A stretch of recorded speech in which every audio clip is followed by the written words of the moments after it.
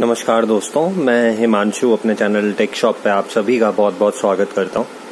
जैसे कि दोस्तों, मैंने आपको अपने वीडियोस में पहले भी दिखाया है एयरटेल डीटीएच वगैरह के और अलग अलग कंपनियों के, कि लैंग्वेज हम कैसे सेट करते हैं, या कैसे चेंज कर सकते हैं। तो आज मैं आपको इस वीडियो में दिखाने वाला हूँ कि हमारे ये टाटा स्काई के रिमोट से हम अपने किसी चैनल का लैंग्वेज कैसे चेंज कर सकते हैं।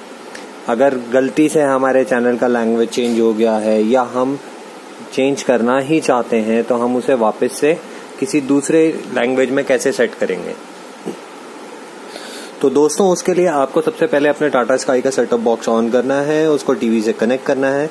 उसके बाद आप ये देख सकते हैं कि यहाँ पे ऑर्गेनाइजर का बटन है। इस रिमोट में ये ऑर्गेनाइजर का बटन है।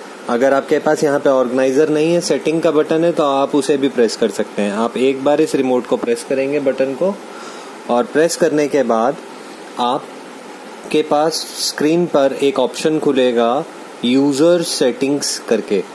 यूज़र सेटिंग्स में आपको एक ऑप्शन मिलेगा लैंग्वेज सेटिंग का।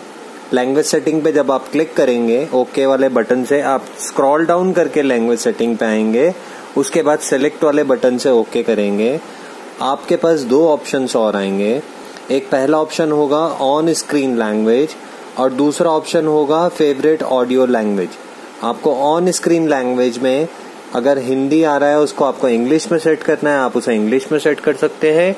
अगर उसमें और लैंग्वेजेस दिखा रहा है तो आप उसको और किसी लैंग्वेज में अगर सेलेक्ट करना चाहें तो आप अपनी मन चाहे लैंग्वेज में सेलेक्ट कर सकते हैं। तो दोस्तों, एक चीज़ मैं इस वीडियो में आपको और बता दूँ। टाटा स्काई में सारे के सारे चैनल जितने भी आते हैं, ज़रूरी नहीं है कि हर चैनल में हमारी सारी लैंग्वेजेस ऐड हों। कुछ ही ऐसे चैनल्स हैं जिसमें सारे लैंग्वेजेस ऐड होती हैं अदरवाइज़ कुछ चैनल ऐसे हैं जिसमें खाली हिंदी ही चलता है या खाली इंग्लिश ही चलेगा, या आपको खाली हिंदी और इंग्लिश ही मिलेंगे, इसके अलावा और कोई ऑप्शन नहीं मिलेगा। तो ये आपको हमेशा ध्यान रखना है। मैं आपको एक बार फिर डिस्क्रिप्शन में सारी सेटिंग्स लिख के बता दूँगा। सबसे पहले आपको ऑर्गेनाइजर का बटन, उसके बाद यूज़र मैनुअल खुलेगा, आपका यूज़र सेटिंग खुलेंगी, उसके बाद आपको स्क्रॉल डाउन करके लैंग्वेज सेटिंग में जाना है और ओके okay का बटन दबाना है और ऑन स्क्रीन लैंग्वेज में आप अपनी लैंग्वेज चेंज कर सकते हैं। ये सारा डिस्क्रिप्शन में मैं आपको दे दूँगा। आपको अगर ये वीडियो अच्छा लगा हो तो प्लीज़ इस वीडियो को लाइक कीजिए चैनल को सब्सक्राइब कीजिए बेल आइकन दबाना नहीं भूलिएगा और अपना बहुत बहुत ध्यान रखिए। Thank you so very much दोस्तों।